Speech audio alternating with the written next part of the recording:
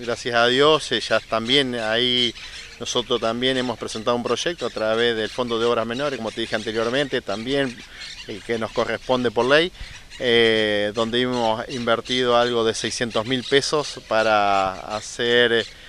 dos metros y medio de mampostería de cerramientos a, lo que queremos en este año,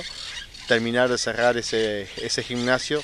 que, bueno, que tanto lo necesitamos, que tanto queremos para darle funcionalidad no solamente para los aspectos deportivos de, la comunidad, sino también son las instalaciones que se prestan para la, para la escuela y bueno, como decía vos, también para uso múltiple de, distintas actividades que se puedan generar dentro del mismo. ¿En qué etapa está si tenemos que evaluar la construcción de ese salón? Eh, inicialmente está en la etapa, o sea, se presentó el proyecto para, para llegar a una altura de unos 60 en este caso y después, bueno, darle continuidad. Eh, y esa etapa está terminada, faltan bueno, algunos detalles, pero, eh, pero ya estaríamos en, en, la etapa digamos, terminada de, de, esa mampostería, con bloques de cemento se hizo,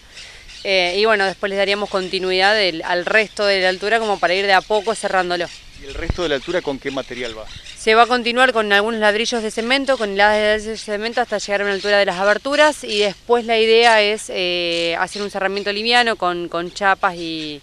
eh, perfilería. Daniel, los montos son multimillonarios cuando hablamos de una obra de esta envergadura, ¿no? Estamos eh, eh, mencionando un gimnasio que tiene qué dimensiones tiene 600 metros cuadrados de 20 por 30, pero bueno, eh, la idea de no bajar los brazos también, otro agradecimiento que quiero hacer también son a, los chicos que están trabajando en el vole playero, que es un grupo de jóvenes que, arman los torneos internos que se han generado en,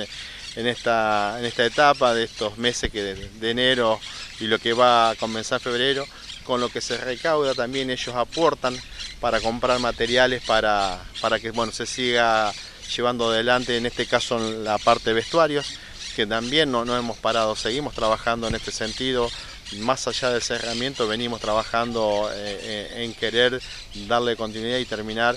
una, obra que bueno siempre digo para nosotros siempre nos cuesta mucho eh,